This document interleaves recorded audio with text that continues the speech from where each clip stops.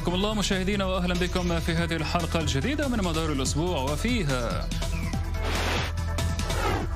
بعد الأحداث الأخيرة على الحدود الإسرائيلية اللبنانية سنعيد قراءة المتغيرات الطارئة على قواعد الاشتباك بين حزب الله وإسرائيل.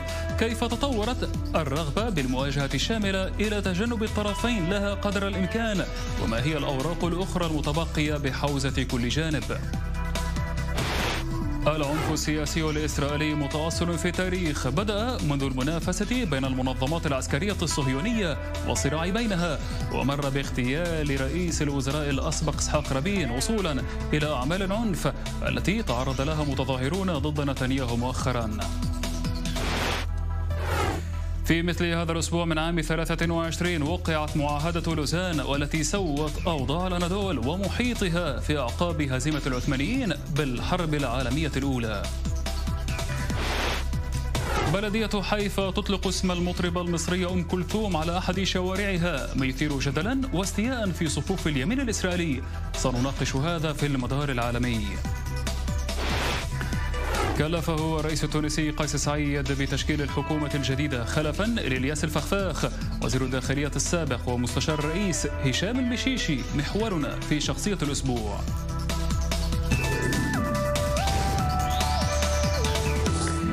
جولة تصعيد أخرى بين حزب الله وإسرائيل انتهت بمعجزة. أو هكذا تبدو إذ كثرت معجزات عدم الانزلاق نحو حرب شاملة بين الجانبين في السنوات البيضاء الأخيرة.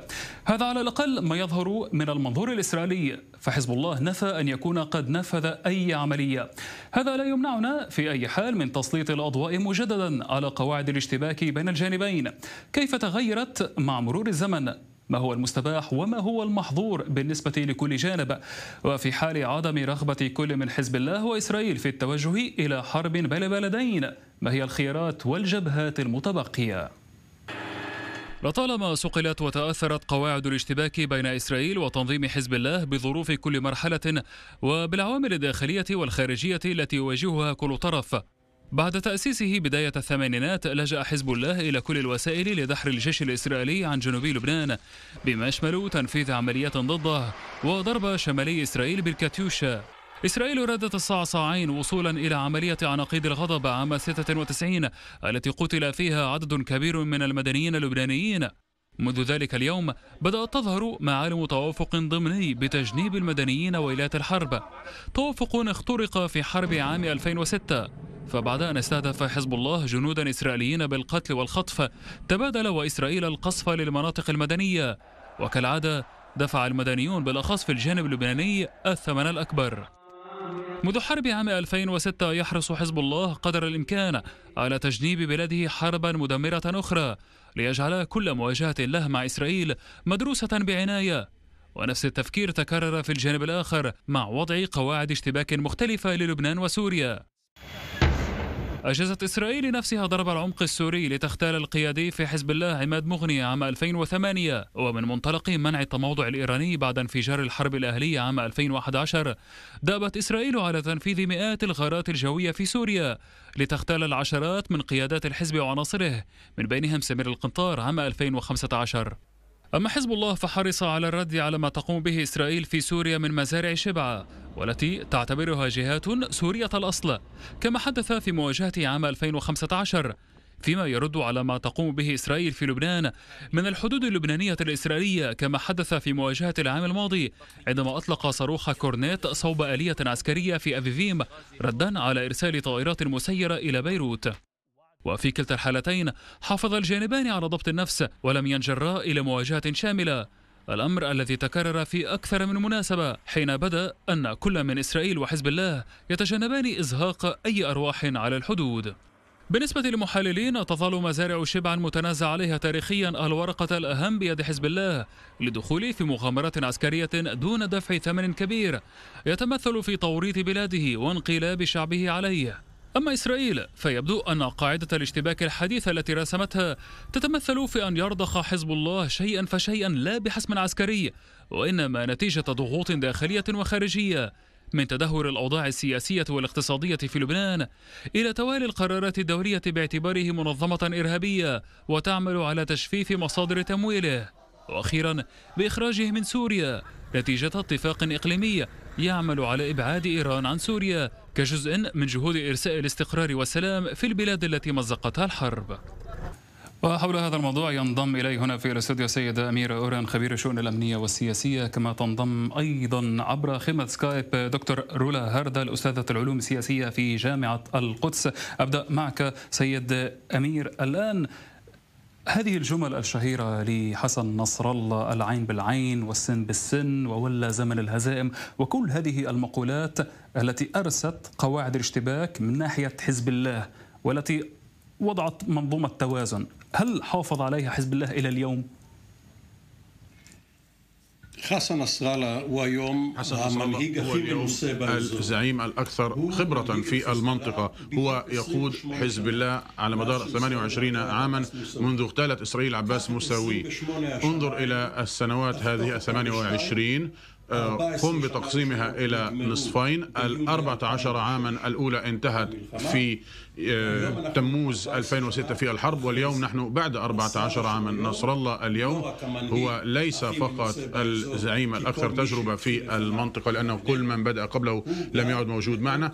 هو أيضا عقلاني ومتزن ومصالحه كيفما يراها. هي مصالح لبنانية وليس فقط شيعية وبالتأكيد أكثر من أن تكون فقط ذراع إيراني. لذلك معادلة الردع التي يتحدث عنها نصر الله وأنت ذكرتها سائدة بالنسبة للبنان وليس بالنسبة لسوريا وهو نجح بأن يتسبب بأن إسرائيل لا تسعى كان هناك حالة شاذة واحدة قبل عدة أشهر. إسرائيل لا تسعى للمس بممتلكات حزب الله. في لبنان هي تركز جهودها في التموضع الإيراني في سوريا حيث رجالات حزب الله إذا ما تواجدت في مناطق النيران بين إسرائيل وإيران قد يصابوا وفي الحالة الأخيرة قبل أكثر من أسبوع. هذا ما حصل. هذه لم هذه لم تكن عملية اغتيال إسرائيلية لناشط من حزب الله. إذا ما تريد إسرائيل اغتيال نشيط لناشط لحزب الله هي تقوم بهذا حتى وإن لم تعلن عن هذا وتستعد للرد وهي تفهم أن هذه قواعد اللعبة. ولكن حينما آه، يصاب مقاتل حزب الله عن طريق الصدفة ولا أحد يعرف آه، ما كان وضعه ومكانته هو لم يكن جزء من القوى الإيرانية هو لم يكن هناك مبعوث عن حزب الله وقتل صدفة حينما أغارت إسرائيل على مطار دمشق الدولي. حينما حصل هذا جاء نصر الله ويقول أتذكرون أنه في كل مرة سيصاب أحد مقاتلينا سأرد وهنا إسرائيل وبذكاء وإذا ما سمحت لي سأوسع. القتيل الأول في تاريخ البشرية كان هابيل والله قال دماء أخاك تصرخ من الأرض؟ إسرائيل فهمت أنه سيكون هناك رد وأن على الرد سيأتي رد آخر. وفي الحرب الواسعة صحيح نريد أن نقتل أكبر كم من الطرف الآخر. وإذا ما أردنا أن لا نصل إلى الحرب نريد تهميش الحادث. لذلك كان هناك جهود بأن تنتهي هذه الحادثة بلا قتلى من الطرفين. نعم دكتور رولا أريد أن أتابع النقطة التي عرج عليها سيد أمير. كيف ينظر الجانبان إلى كل من سوريا ولبنان في قواعد الاشتباك هذه؟ وكيف تفرق إسرائيل كما تفضل السيد أمير بين آه، عنصر حزب الله ما إن كان يعمل تحت غطاء الحزب أو تحت غطاء إيران آه، في سوريا؟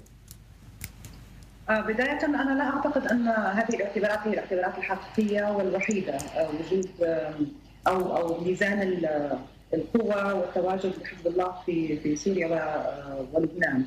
في على المستوى اللبناني نعرف جميعا أن حزب الله لديه آه، إشكاليات عديدة داخلية اقتصادية وسياسية ولديه أيضا آه، أعداء سياسيون آه، يتربصون به إذا ما فكر في الإقدام على خطوة قد تجر لبنان بأكمله إلى إلى حرب، هذا معروف وهذا أيضا بمقابله توجد أيضا أسباب وحيثيات في الداخل الإسرائيلي مشابهة. تواجد تواجد حزب الله في في سوريا معلن وليس مخفى منذ سنوات عديدة وأعلنه الحزب وأعلنه أيضا السيد حسن نصر الله في في مقابلات عديدة وفي وفي أماكن مختلفة. بأن تواجد حزب الله في سوريا هو استراتيجي وتستطيع إسرائيل أن تتعامل مع هذا الموضوع كما تشاء. وإسرائيل تحاول ان أن تحد من تواجد حزب الله في سوريا وعلى الحدود أيضا معها كذراع لإيران ولكن هي لم تنجح حتى اليوم بمنع هذا التواجد لحزب الله في سوريا ومنع أيضا بقاء حزب الله كجزء من المعادلة من معادلة المقاومة من المعادلة العسكرية ومن المعادلة السياسية اللبنانية. لذلك أنا أعتقد أن علينا أن نفحص أين هي إسرائيل اليوم تجاه حزب الله وأي قواعد اشتباك تريد وإذا كانت تريد فعلا مواجهة مع حزب الله أو لا. نعم أريد أن أعود لك سيد أميرة تحدثت كيف أن نصر الله عمليا لديه خبرة طويلة ويعرف كيف يلعب بالأوراق التي لديه. لكن ربما البعض يخالفك الرأي ويقول لا تمهل سيد أمير الموضوع ليس هكذا وإنما هو مكبل اليدين بسبب ضغوط داخلية وخارجية والعقوبات الدولية عليه وعلى إيران وما إلى ذلك. ابدأ تحليلك من أن إسرائيل لا تريد حرب في لبنان. لا توجد أي مصلحة لإسرائيل أنه في العام 2020 وأنا أقول إسرائيل ليس لا أقصد سياسي هنا وهناك ولكن المصلحة القومية الإسرائيلية تقضي وتعكس ويعكسه الجيش لأن التفكير هي هو ليس على المستوى السياسي هو على المستوى العسكري. الحكومة يمكن لها أن تلزم الجيش يمكن أن تقر ما يقترح الجيش أو لا تقر ولكن التفكير الاستراتيجي الإسرائيلي يتم من خلال الجيش الإسرائيلي على مستوى قائد الأركان رئيس شعبة الاستخبارات ومحيطهم.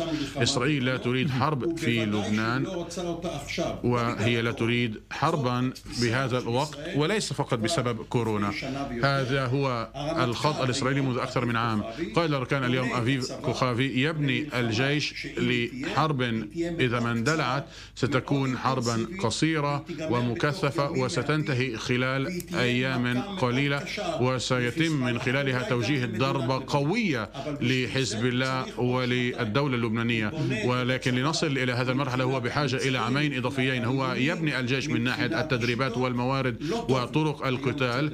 لذلك الوقت اليوم غير مواتي بالنسبة للجيش اندلاع مثل هكذا حرب. إذا ما كان هذا أيضا توجه نصر الله فهناك التقاء مصالح. وكما قال الدكتور رولا هناك اعتبارات سياسية داخلية و السياسيون والزعماء لا يمكن أن يبدوا ضعفاء. إذا ما لحق الأذى بعنصر عندهم وجمهورهم ينظر إليهم هم يفهمون هذا ولكن الهدف المشترك وكما قلت في البداية هو الحد واحتواء وتقليص الحادثة لكي لا يخرج عن السيطرة. نعم دكتور رولا ما هي الخيارات والجبهات الجغرافية المتبقية للجانبين بالأخص لحزب الله الذي يبدو بأن خياراته تقل أكثر فأكثر من ناحية. هناك الضغوط الداخلية هناك الضغوط الدولية الإقليمية وأيضا استمرار تعرض عناصره للضرب من قبل إسرائيل في سوريا. اولا أنا لا أعتقد أن حزب الله ليست لديه خيارات، حزب الله واضح تماما أنه لا يريد أن يدخل الآن في حرب. ولكن هذا لا يعني أن هنالك ضعف عسكري استخباراتي مالي لدى حزب الله. بمتابعة لموضوع حزب الله نحن نعرف أن حزب الله ما زال يحصل على التمويل الكافي من إيران، حزب الله ما زال يدرب عناصره ولديه جاهزية جيدة على الأقل بما يرشح إلينا من خبراء عسكريين وسياسيين. في لبنان وفي المنطقة من ناحية تجهيزاته العسكرية وتحضيره أو تحضره لأي مواجهة مقبلة مع مع إسرائيل. المشكلة ليست هناك. المشكلة أن الطرفان يمتنعان عن الدخول في حرب وفي مواجهة إلى أن يكونا جاهزين أكثر عسكريا وأيضا بحسب الظروف الإقليمية والظروف العالمية.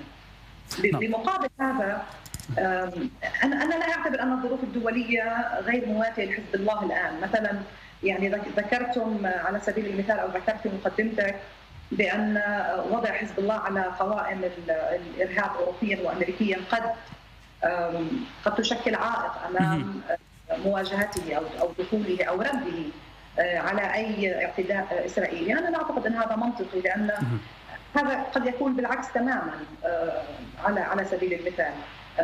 بحيث يسمح لحزب الله بان بأن يرد على أي هجمات إسرائيلية في أي مكان آخر في العالم نعم. وليس فقط على الأرض على الأرض الإسرائيلية. نعم وهناك الحديث بأنه لربما سوف يحاول التوصل إلى صفقة ما مع هذه الجهات مثل قضية تسليم الجاسوس عامر الفخور الذي اتهم حزب الله بتسليمه مقابل تجميد العقوبات. سؤال الاخير بعجالة سيد أمير ما هي أفق إبعاد إيران وبالتالي حزب الله عن سوريا كاتفاق سلام أو لإحلال السلام في سوريا ما يحقق مصلحة لإسرائيل في النهاية.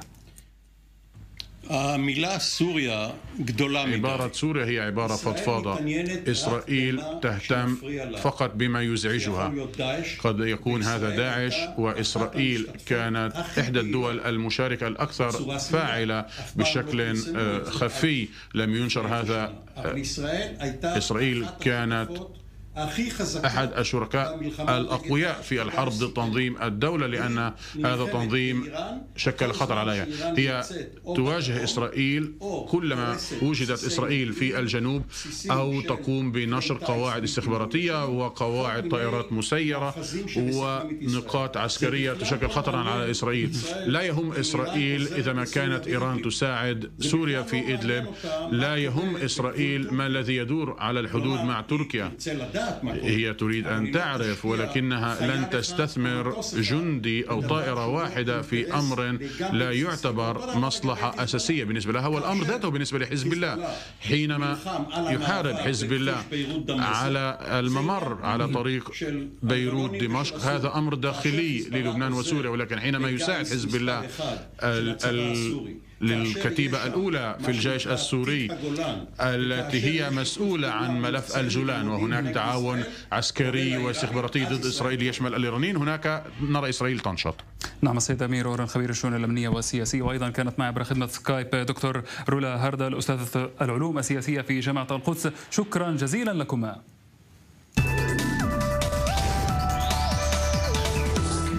تصاعدت موجة الاعتداء على المتظاهرين السلميين الذين يخرجون إلى شوارع القدس وتل أبيب للاحتجاج على رئيس الوزراء الإسرائيلي بنيامين نتنياهو وسياساته ليتعرض عدد منهم للضرب بالأيدي وبأدوات حادة من قبل نشطاء محسوبين على اليمين المتطرف.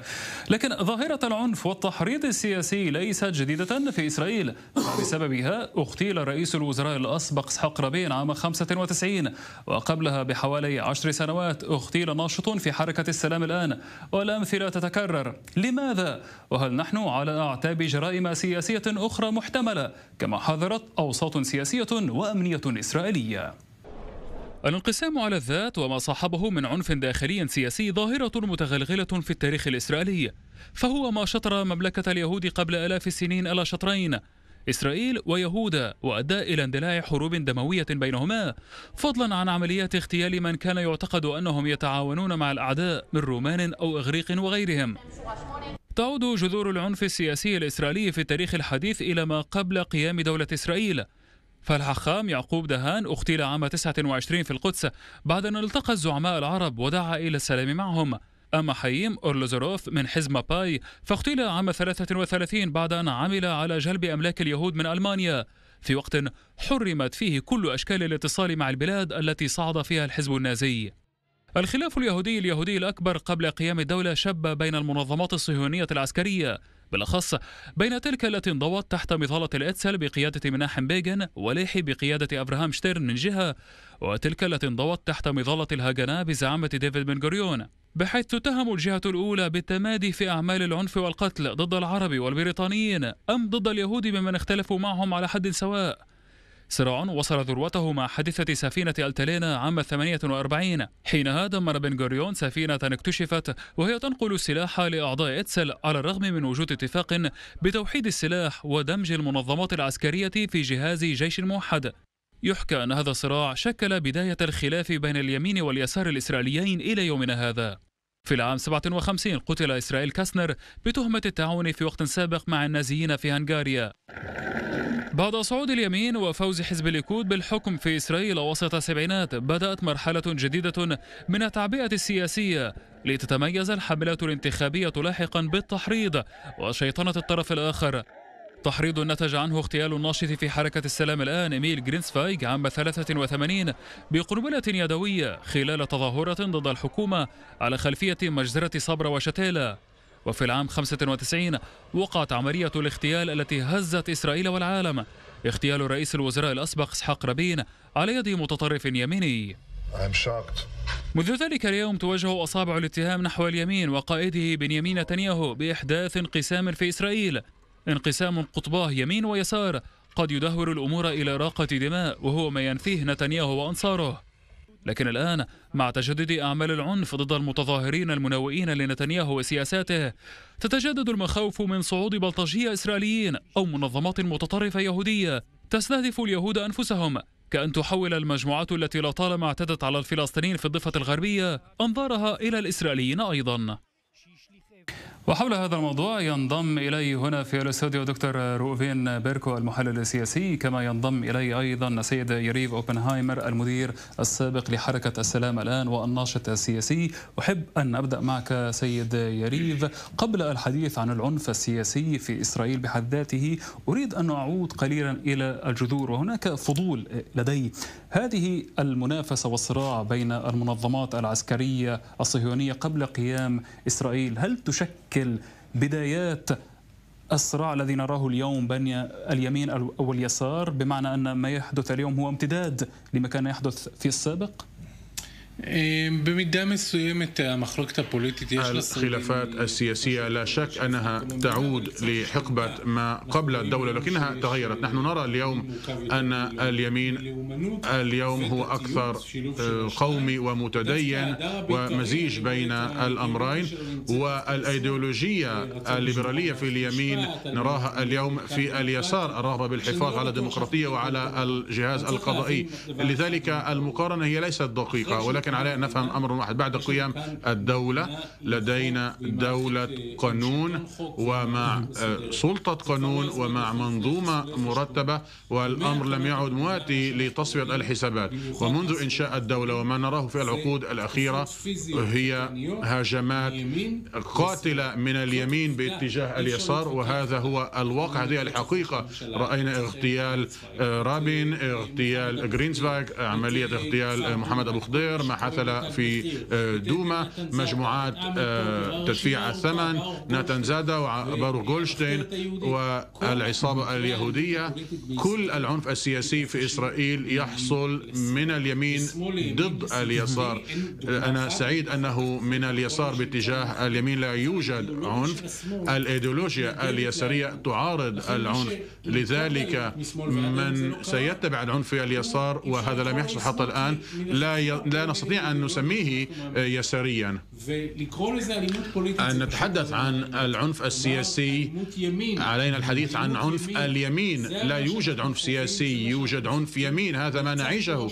قتل رئيس وزراء قتل متظاهرون في إسرائيل آه، أبرياء من قبل. عناصر يمينية لم يقتل ولم يصاب ولم يجرح حتى أي ناشط يميني من قبل ناشط يساري. نعم أريد أن أعطي الفرصة للدكتور روفين نفس النقطة التي تحدث عنها السيد يريف إلى أي مدى تعتقد بأنه بالفعل أصبح هناك نجاح في شيطنة اليمين لليسار وما نتج عنه من أعمال عنف سياسي؟ وأيضا لو نعود إلى السابق قليلا يعني عندما نتحدث عن مناحم بيغن توصل إلى السلام مع مصر جابوتينسكي كان له آراء معتدلة. يعني اليمين تحدث آه، توجه إلى منحى مختلف أو منحى أكثر تطرفا بحسب ما يصفه البعض وشيطن الطرف الآخر. إذا عدنا إلى الماضي كما تفضلت فممكن أسمح لنفسي أن أذكر أنه في هذا اليوم بالذات يذكر اليهود آه، مأساة حراب بيت المقدس الثاني. ويعني دائما عندما يذكر اليهود حراب بيت المقدس الثاني التي تم بنفس الموعد لحراب بيت المقدس الأول دائما يبررون ذلك بكراهية بدون سبب. ما بين صفوف الشعب اليهودي هي اللي أدت إلى الكوارث التاريخية السابقة. وفعلا هناك في يبدو لي بدون تعميم إنه في نفسية الشعب اليهودي تعددية آراء والتحفظ والاحتفاظ بآراء وآراء معارضه عكس ما يدور في شعوب المنطقة أو في العالم. هناك تاعة للليدر للقائد بدون تردد أو رفع علامات استفهام. نحن شعب آه، آه، صعب جدا. سماه آه، نبينا الكبير موسى عليه الصلاة والسلام عندما ذكر طبيعة اليهود كشعب صعب جدا الذي يتحملون ويحملون يعني آراء متعددة. وهذا عبر التاريخ وكل ما يصلي له يهودي وعي أن يمتنع بني إسرائيل الشعب اليهودي من المعارك الداخلية التي هي أصلا الخطر الكبير لاستمرار وجود هذا الشعب في هذه المنطقة. إذا انتقلنا من الماضي إلى الوقت الحاضر علينا أن نحلل؟ وأنا لا أنكر ما قال ضيفك الكريم سيد أوبنهايمر عندما ذكر عنف بعض الفئات التي يعني تشخص كفئات تابعة لليمين. ومن هذا لا يجري أو لا يجوز أن ننبثق أو نقول أنه اليمين ككل هو شعب متطرف يقتل و... و... ككل ولذلك أقول الصدف شاءت بأنها دائما, دائما تأتي من اليمين. هناك فئات تابعة لليمين يعني وتشخص كيمين ولكن اليمين بأكمله لا يقوم بهذه آه، الأعمال ولكن إذا عدنا إلى الوقت الحاضر. علينا آه، أن نذكر أن كل هذه المظاهرات غريبة جدا. عندما ثلاث معارك انتخابية تمت وانتهت نتيجتها بنفس النتيجة كما نراها اليوم. وإنما يحتاج الجماهير لأسباب اقتصادية ناتجة عن الكورونا وغيرها ونراهم يتظاهرون ضد حكومة موحدة. يعني يحكمها السيد جانس ويحكمها نتنياهو. السبب لهذه المظاهرة غير مفهوم. نتائج الانتخابات قد اتفق عليها نعم. في طيب. وهذه يلبسون عليها احتجاج ضد رئيس حكومة منتخب طيب. وليس لذلك اي مبرر هم يريدون تغيير نعم. نتائج الانتخابات بطريقة نعم. المظاهرات ويهدمون طيب. ممتلكات الجماهير نعم. دعني اعطي الفرصه لسيد يريف لو سمحت ضد الشرطة سيد بشكل عنيف نعم. وهذا لا نعم. يجوز نعم لحظة قليلا أريد أن أتوجه إلى السيد يريف سيد يريف إلى أي مدى تعتقد بأن هناك موافقة ضمنية غير محكية باستهداف اليسار من خلال هذا العنف السياسي؟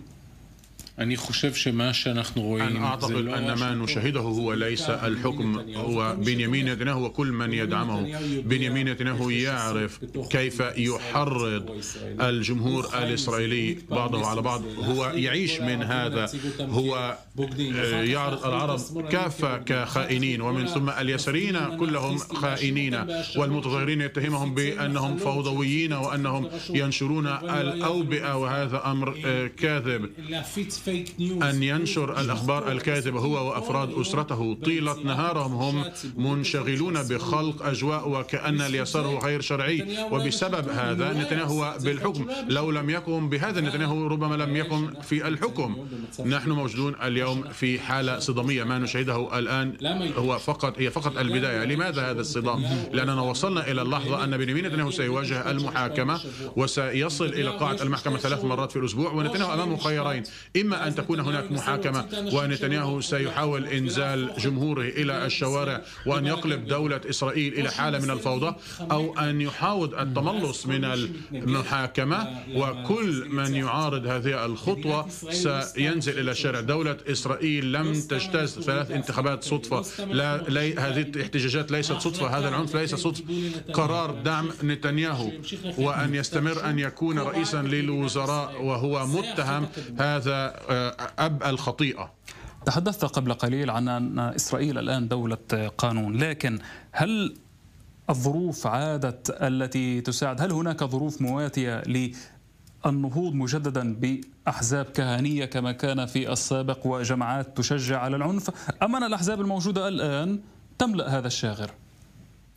אנחנו רואים גם וגם. نحن نرى الأمرين هناك تحريض من الأحزاب ومن رؤساء الأحزاب ومن بلفور ومن منزل رئيس الوزراء من ابنه ومن الأب ومن الوالد ونحن نرى ترجمة هذا عن طريق العصابات في الشوارع التي تعتدي على الفلسطينيين أو على العرب الإسرائيليين آه، ثم يعتدون على اليساريين وما الذي يحصل عليه نتنياهو لماذا هذا جيد لنتنياهو هذا جيد لنتنياهو لأنه هو لا يريد هذه الاحتجاجات هو يريد أنني أن أفكر مرتين قبل أن أذهب إلى الاحتجاج هو يريد أن لا نجرؤ عن أن ننتقده.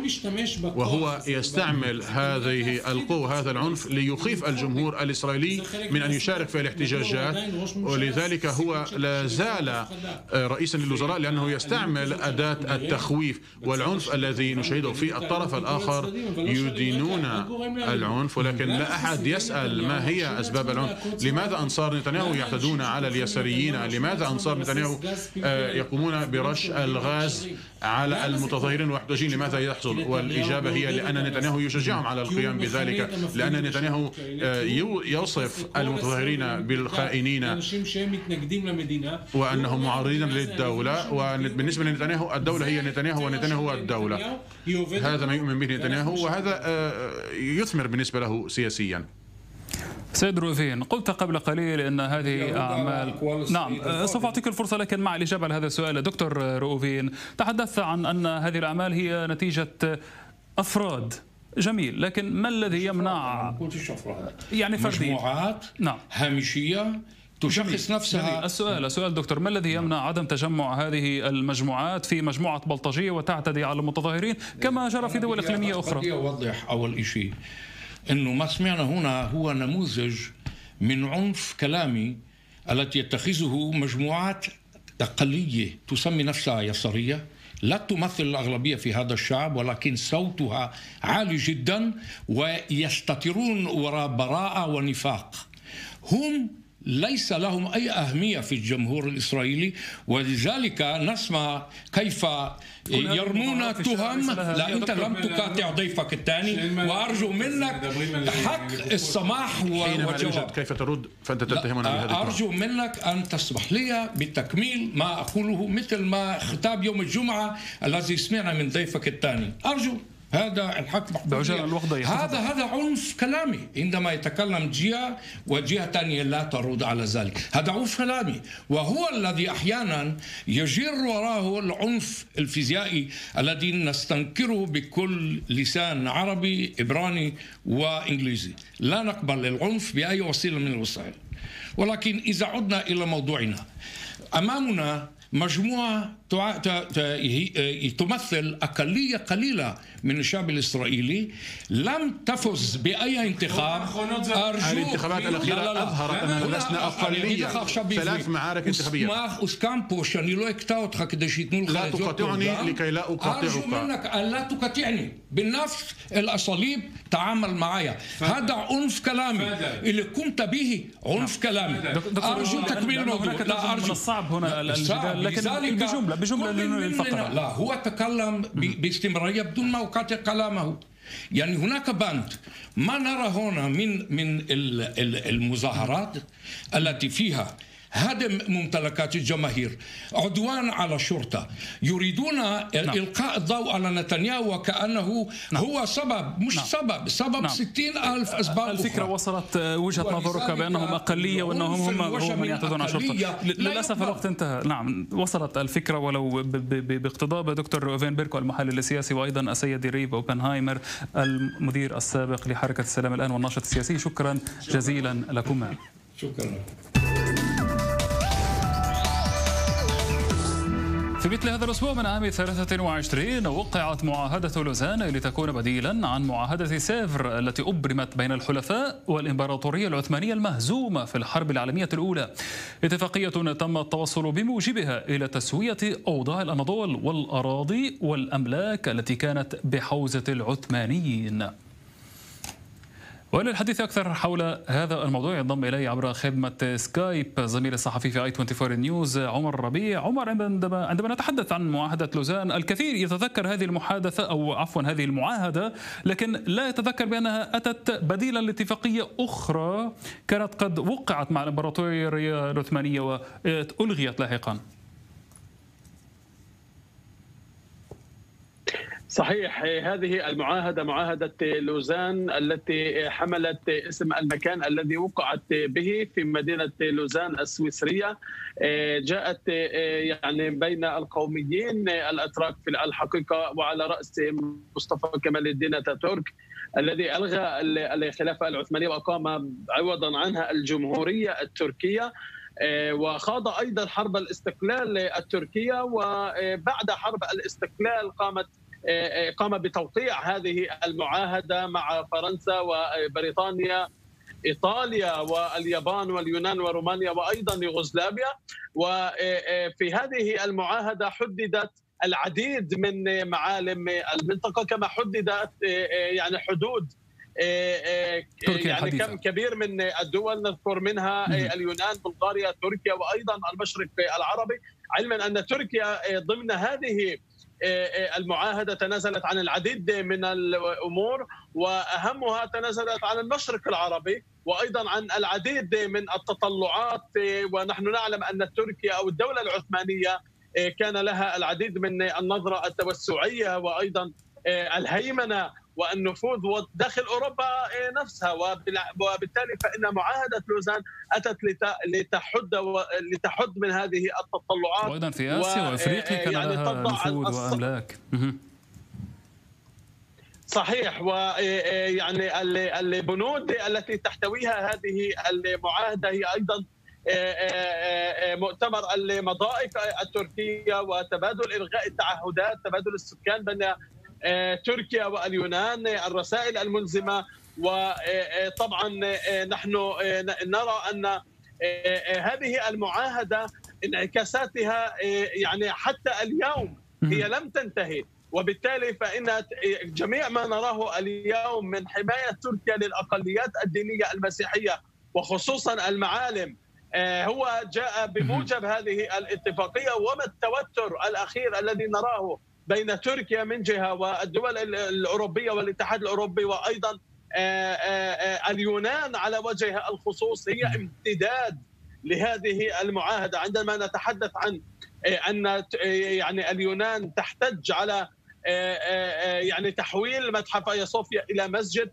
هي تتحدث اليونان تتحدث من روح اتفاقية لوزان وعندما يحتج الاتحاد الأوروبي نعم. على الدور لكن عمر أنا إن لم أكن مخطئا فهذه المعاهدة كانت قد تحدثت عن شروط تستمر أو عن بنود تلغى أو ينتهي مفعولها بعد 100 عام. بالأخص عندما نتحدث عن نفوذ واراض وأملاك صحيح عثمانية.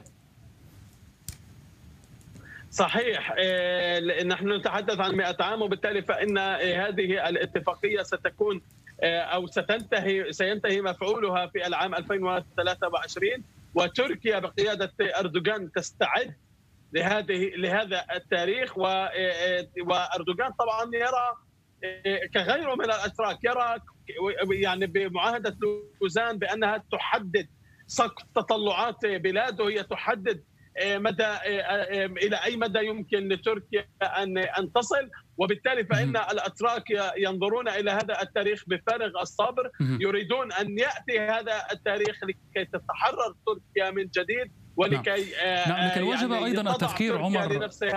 وجب التذكير عمر بأن الكثير ينتقد ويعتب على أتاتورك بالقول إنه علماني وهاجم الدين الإسلامي لكن لا ينظر إلى معاهدة سيفر التي كانت تنتقص أكثر وأكثر من حقوق ومن أراضي تركيا. يعني كانت تركيا وفق معاهدة سيفر التي سبقت معاهدة لوزان مقسمة ما بين أرمينيا واليونان وغيرها من الدول. صحيح الدولة العثمانية كان ينظر إليها من قبل أوروبا بالرجل المريض بشار. وبالتالي فإن الاتحاد فإن أوروبا أو الدول العظمى في تلك الحقبة قامت ب يعني باجبار الدولة العثمانية على الرضوخ لشروط ربما يراها العديد مجحفة في التاريخ. وبالتالي فإن أتاتورك جاء ليحيي هذا الرجل المريض يحيي تركيا فإنه وبموجب ذلك فإنه قام ب يعني نعم. حرب الاستقلال التي قالها والتي تحدث عنها قبل قليل. عمر للأسف انتهى الوقت. عمر ربيع الزميل الصحفي في آي 24 نيوز كنت معي عبر خدمة سكايب. شكرا جزيلا لك.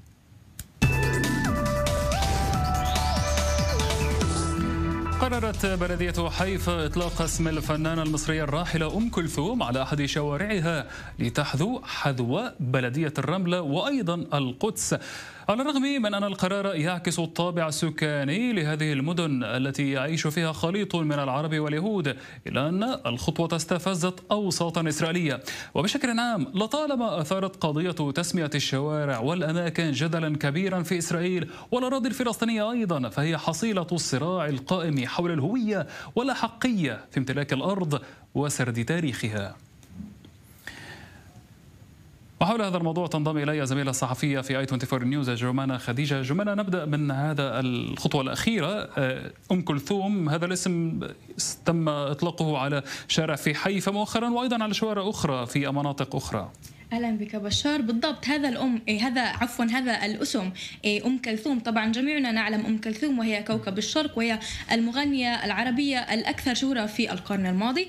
طبعا تم إطلاق إيه اسم أم كلثوم على شوارع في دولة إسرائيل. في كان طبعا بدء الآن في مدينة حيفا. فكما رأينا إيه حدثت ضجة كبيرة حول هذه التسمية ولكنها ليست الأولى من نوعها. كان أيضا في كل مدينه من مدينة الرملة ومدينة القدس. نبدأ بمدينة حيفا. وهي الضجة طبعا الأخيرة حول هذه التسمية. طبعا جميعنا نعلم أن حيفا هي مدينة مختلطة يوجد بها سكان عرب ويهود يعيشون مع بعضهم البعض.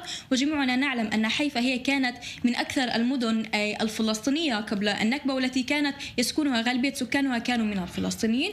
ولكن الآن حتى بعد طبعا قيام دولة الدولة اليهودية يوجد على الأقل ربع من سكان هذه المدينة هم من السكان العرب. ولكن هؤلاء السكان قرروا أن يحتفوا ليس فقط بتاريخهم وبإرثهم وبهويتهم العربية. إنما أيضا قرروا أن يكرموا طبعا هذه السيدة العملاقة صحيح. أم كلثوم. لكن قبل الخوض في التحليل لماذا أم كلثوم تحديدا؟ يعني هناك الكثير من المطربين الآخرين لماذا ليس اسمهان؟ وفريد الأطرش وعبد الوهاب أعتقد بأنها أيضا أسماء موجودة لشوارع في إسرائيل. نعم يوجد عبد الوهاب في إحدى المدن أيضا المختلطة. أم كلثوم وذلك لكونها مطربة كوكب الشرق والتي هي كما ذكرنا كانت المطربة الأكثر شهرة في القرن الماضي. وذلك أيضا لكون طبعا ليس فقط العرب استمعوا إلى طبعا أم كلثوم إنما أيضا اليهود المتدينين واليهود طبعا الشرقيين بغالبيتهم ترعرعوا وتربوا على أغاني أم كلثوم وأيضا يرددون من خلال تلاوتهم طبعا لصلواتهم أيضا يرددون الصلاة على طبعا أنغام أم كلثوم. فكما ذكرنا هم يريدون طبعا التأكيد ليس فقط على هويتهم إنما أيضا على وجودهم وأيضا على التعايش بين العرب واليهود. طبعا حثت هذه الخطوة على العديد من النقد طبعا من الوسط اليميني في إسرائيل. فرأينا أنه عدة عدة صحف إسرائيلية يمينية كصحيفة إسرائيل اليوم وصحيفة أيضا كولبو نشرت صور لأم كلثوم وكتبت عليها أن الآن لدي أصبح لدي بندقية وسأذهب إلى فلسطين. جميعنا نعلم أن أم كلثوم غنت طبعا عقب عقب حرب 1967 حرب ستة أيام. غنت طبعا كانت من الداعمين لفلسطين وكانت أيضا طبعا تتبرع بمبالغ لدعم الشعب الفلسطيني. فمن هنا يعتبرها طبعا الناقدين اليمينيين في الوسط الإسرائيلي بأنها عدوة الشعب الإسرائيلي وأنها طبعا تريد الإباد إبادته. هذه الخطوة كما ذكرنا هي كانت مرفوضة طبعا في في حيفا وإنما أيضا كانت في مدينة الرملة. ولكن بالمقابل في مدينة القدس كانت مقبولة. فرأينا أن نير بركات في عام 2012 عندما قام بتسمية إحدى شوارع في حي مدينة عفوا في حي بيت حنينة في مدينة القدس.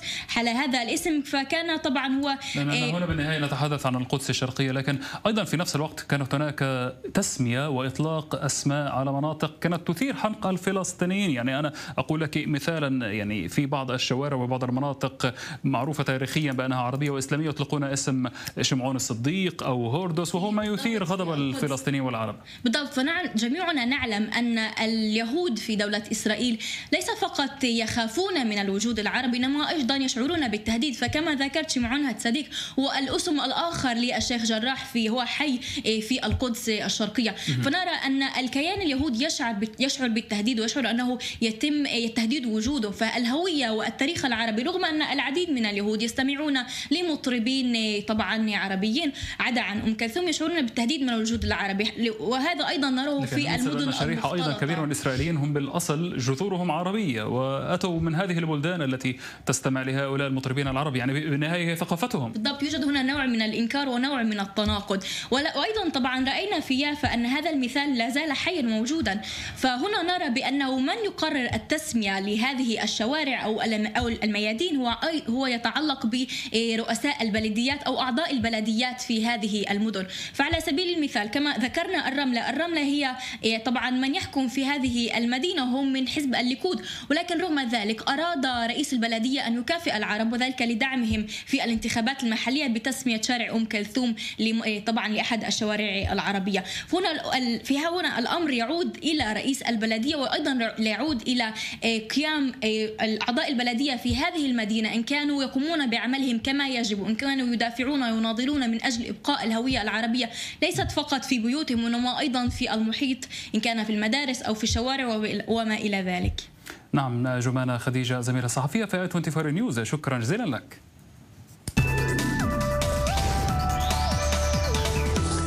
عينه الرئيس التونسي قيس سعيد رئيسا للوزراء بعد أن قدم سلفه الياس الفخفاخ استقالته هشام المشيشي المولود عام 74 كان قد شغل منصب وزير الداخلية وأيضا مستشارا أولا لسعيد في الشؤون القانونية لم ينتمي أي حزب وكذلك لم ترشحه أي من الأحزاب لتشكيل الحكومة.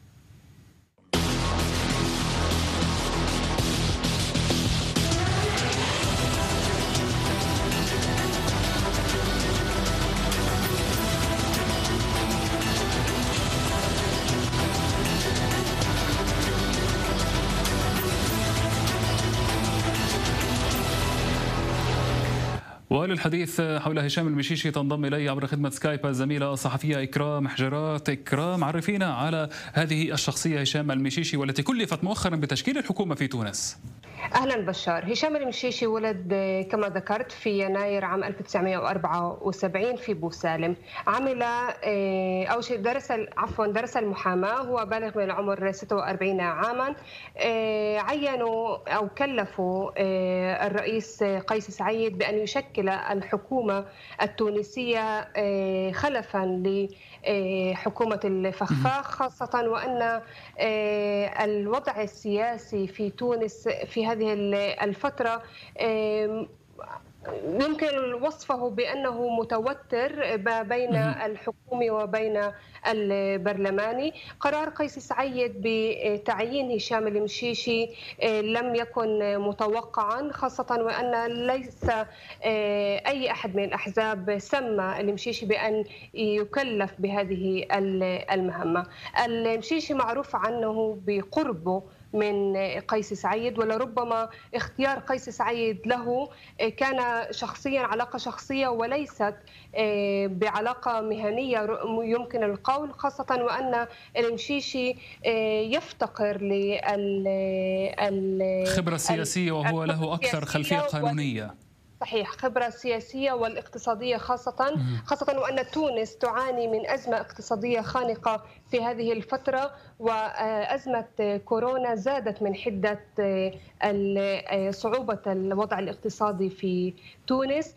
يشار إلى أن المشيشي خبرته هي أكثر كما ذكرت بشار هي أكثر قانونية بحيث درس المحاماة عمل في مناصب كان هدفها أو كانت تختص في شؤون القانون. كذلك قيس سعيد في في عندما تم آه، فوزه في الانتخابات عينوا له كمستشار في الأمور القانونية. يذكر بأن المشيشي عمل كان كان رئيس للديوان في وزارة النقل كذلك رئيس للديوان في وزارة الشؤون الاجتماعية وأيضا عضو في الهيئة الوطنية للتقصي حول الفساد والتي الهيئة التي تشكلت في عام 2011 عقب الثورة الياسمين في تونس التي أطاحت بال الرئيس آه، السابق زين العابدين آه، بن علي.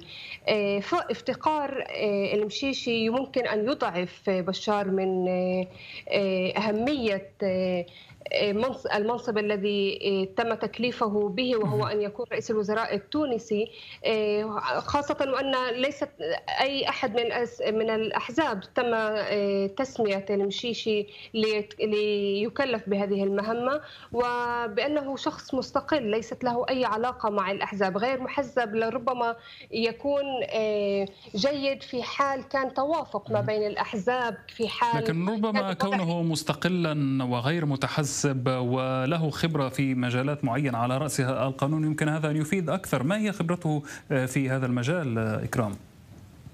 لربما القانون صحيح ممكن أن يساعده آه، كثير في الأمور الإدارية التي ممكن أن آه، يتعامل معها في خلال هذا المنصب. لكن التحدي الأكبر في الذي يقف أمام المشيشي هو الاقتصاد الاقتصاد التونسي. افتقار المشيشي للخبره الاقتصادية وعدم آه، عدم تمكنه من هذا المجال ممكن أن يكون عقبه عقبة كبيرة أمامه خاصة بأنه آه، إضافة إلى عدم خبرته في الاقتصاد بأنه آه، مستقل وليست له أي علاقة ما بين الأحزاب وممكن أن لن يحصل على ثقة البرلمان. هذه آه، أكبر التحديات التي تقف أمام هشام المشيشي في تشكيل الحكومة المقبلة التونسية.